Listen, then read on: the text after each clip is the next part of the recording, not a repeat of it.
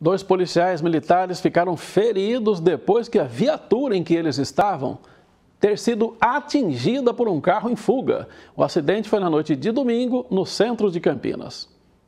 O acidente aconteceu na Avenida Francisco Glicério e, segundo a Polícia Militar, a equipe estava a caminho de uma ocorrência de roubo quando a viatura foi atingida em um cruzamento por outro carro. A batida foi tão forte que o veículo dos policiais chegou a capotar e ficou virado.